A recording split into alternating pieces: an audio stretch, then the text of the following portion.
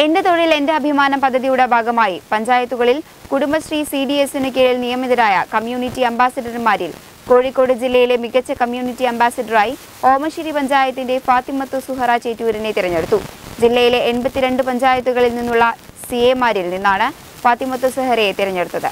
അന്താരാഷ്ട്ര വനിതാ ദിനത്തോടനുബന്ധിച്ച് തിരുവനന്തപുരത്ത് നടന്ന ചടങ്ങിൽ ഫാത്തിമത്ത് സുഹറ ഉപഹാരവും സർട്ടിഫിക്കറ്റും അധികൃതരിൽ നിന്ന് ഏറ്റുവാങ്ങി.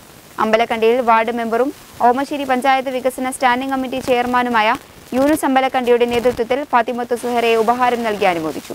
മുൻ ward member K T Muhammad അധ്യക്ഷനായി വാർഡ് വികസന സമിതി convener Abdu Moulavi Ambalakkandi Nechooli Muhammad Haji V A Aboobacker P P Noufal Ibrahim Madathil തുടങ്ങിയവർ സംസാരിച്ചു.